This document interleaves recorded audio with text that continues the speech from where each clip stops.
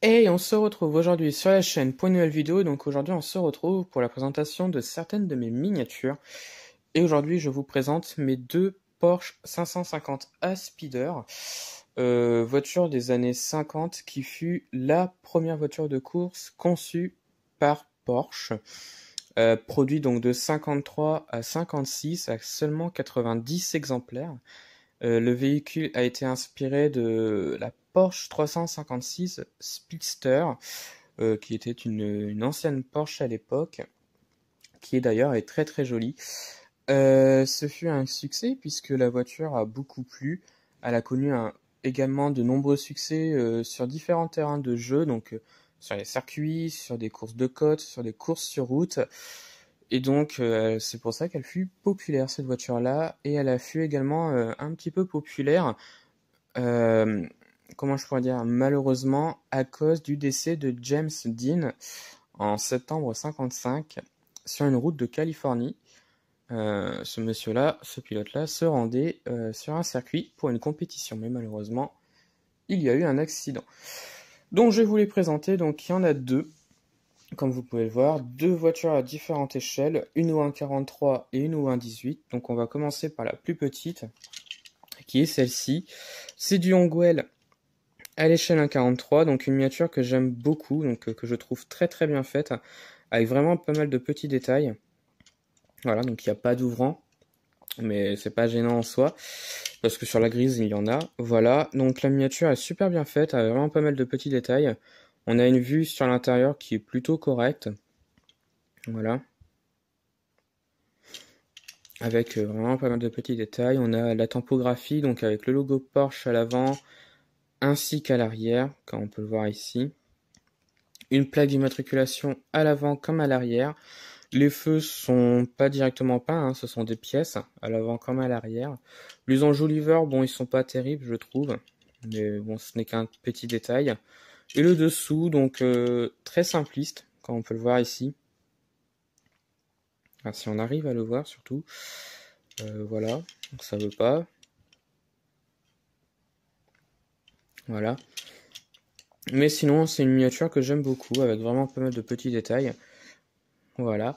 Et donc la deuxième, qui est un petit peu plus grosse, c'est celle-ci, donc une voiture au 1.18 de chez Meisto. Euh, que je trouve très très bien faite également. Trouvaille de brocante. Donc euh, je suis très content parce que la voiture n'est pas abîmée, il y a toutes les pièces sur la miniature. Il y a des ouvrants comme je l'ai dit, donc euh, l'avant, l'arrière et les deux portières. Donc voilà une miniature que je trouve d'une qualité correcte. Voilà.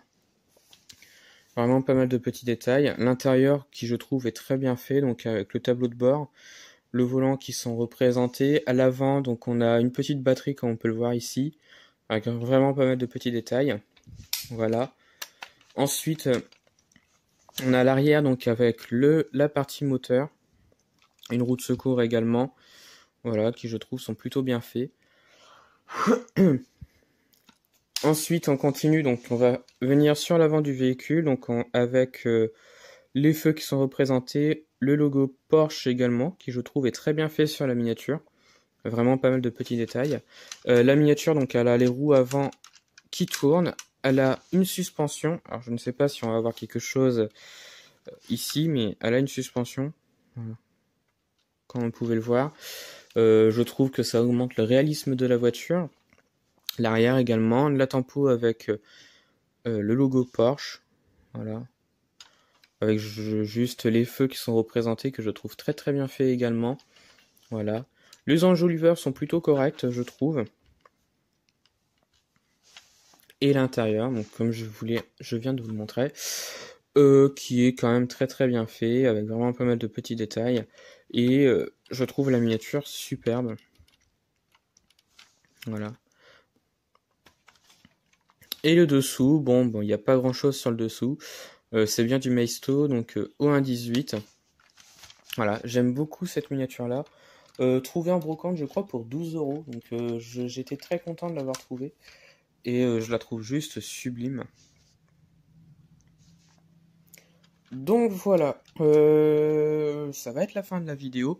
Alors je m'excuse euh, déjà de base parce que je ne fais pas beaucoup de vidéos en ce moment parce que j'ai vraiment pas le temps. Comme vous le savez sûrement, j'ai trouvé un travail, donc euh, c'est le travail déjà de base. comme ça, je gagne un petit peu de sous, hein, j'ai envie de dire. et puis je pense comme ça, il y aura une petite surprise au mois d'octobre s'il n'y a pas de changement avec les sous que j'aurai gagnés. Euh, vous verrez sûrement une petite surprise arriver. J'en dis pas plus, vous verrez bien. Mais voilà, donc je m'excuse auparavant, donc euh, avec le peu de vidéos qu'il y a en ce moment sur la chaîne, mais j'ai vraiment pas le temps. Je fais des vidéos quand je peux. Ça n'arrive pas souvent et donc euh, voilà.